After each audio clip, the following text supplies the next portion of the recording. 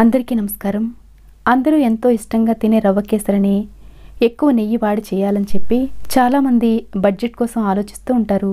అయితే కేవలం ఒక స్పూను నెయ్యితో చేసినా కానీ నెయ్యి ఫ్లేవర్తో ఎంతో రుచిగా ఉండడం మాత్రమే కాకుండా బెల్లంతో ఎలాంటి ఫుడ్ కలర్ వాడకుండా చల్లారిన తర్వాత కూడా సాఫ్ట్గా నోట్లో కరిగిపోయేంత మెత్తగా ఉండేలా ఎలా చేయాలో చూద్దాం. దీనికోసం కొలతకి ఏదైనా గ్లాస్ తీసుకొని ఇలా ఒక గ్లాసు బొంబాయి రవ్వను కొలిచి తీసుకోవాలి. ఇప్పుడు తీపి కోసం మంచి క్వాలిటీ ఉండే బెల్లాన్ని తీసుకోవాలి. ఈ కేసరిలో ఎలాంటి ఫుడ్ కలర్ వేయకుండా ఉండడం కోసం ఇక్కడ నేను కొల్హాపూరి బెల్లాన్ని వాడుతున్నాను. ఇది అవైలబుల్గా లేనట్లయితే మీకు అందుబాటులో ఉండే ఏ బెల్లమైనా వాడుకోవచ్చు. ఇప్పుడు మనం రవ్వ కొలిచిన గ్లాస్తో రెండు గ్లాసుల బెల్లాన్ని కొలిచి స్టవ్ మీద ప్యాన్ పెట్టుకుని ఈ ప్యాన్లో వేసుకోవాలి. ఇలా ఒక గ్లాసు రవ్వకి రెండు గ్లాసుల బెల్లం వేసుకున్న తర్వాత ఇదే గ్లాస్తో నాలుగు గ్లాసుల నీళ్ళను కొలిచి వేసుకోవాలి. ఇప్పుడు స్టవ్లో ఫ్లేమ్లో ఉంచి దీన్ని నెమ్మదిగా మరగనివ్వాలి. ఇది మరిగేలోగా వేరొక స్టవ్ మీద అడుగు మందంగా ఉండే కడాయిని పెట్టుకుని ఒక స్పూను మంచి క్వాలిటీ ఉండే గేదె నెయ్యిని వేసుకోవాలి. ఇప్పుడు గుప్పెడు వేరుశనగ గుళ్ళు వేసుకుని ఇవి ఒక నిమిషం పాటు వేయించుకున్న తర్వాత కొన్ని కిస్మిస్లు కూడా వేసుకుని ఇవి ఇలా చక్కగా ఉబ్బి వేగిన తర్వాత వీటిని ఒక గిన్నెలో తీసి పక్కన పెట్టుకోవాలి.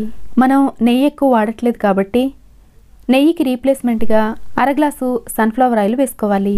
నూనె కాగిన తర్వాత మనం ముందుగా కొలిచిపెట్టుకున్న ఉప్మాకి వాడే బొంబాయి రవ్వని ఒక గ్లాసు వేసుకొని మంట లో ఫ్లేమ్లో ఉంచి కంటిన్యూస్గా కలుపుతూ వేయించుకోవాలి. ఇందులో పల్లె నూనె కానీ నువ్వుల నూనె లాంటివి కాకుండా ఎలాంటి ఫ్లేవర్ లేకుండా ఉండే సన్ఫ్లవర్ ఆయిల్ మాత్రమే వేసుకోవాలి. ఈ రవ్వ మంచి గోల్డెన్ కలర్లోకి వేగి కమ్మటి వాసన వచ్చే వరకు కలుపుతూనే వేయించుకోవాలి. ఈ రవ్వ వేయించుకోవడంలోనే టేస్ట్ అంతా ఉంటుంది కాబట్టి జాగ్రత్తగా వేయించుకోవాలి.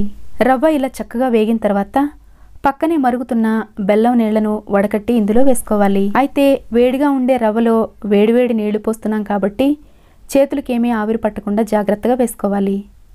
ఇప్పుడు ఇదంతా ఒకసారి బాగా కలిపి మంటలు ఫ్లేమ్లోకి టర్న్ చేసి మూత పెట్టి నెమ్మదిగా ఉడకనివ్వాలి. అయితే అడుగు పట్టేయకుండా మధ్యలో ఒకసారి కలుపుకోవడం మంచిది. ఇది ఇలా దగ్గర పడిన తర్వాత చివర్లో అర స్పూన్ యాలకుల పొడి వేయించిన డ్రై ఫ్రూట్స్ కూడా వేసుకొని ఇదంతా ఒకసారి బాగా కలిపి స్టవ్ ఆఫ్ చేసి పూర్తిగా చల్లారనివ్వాలి.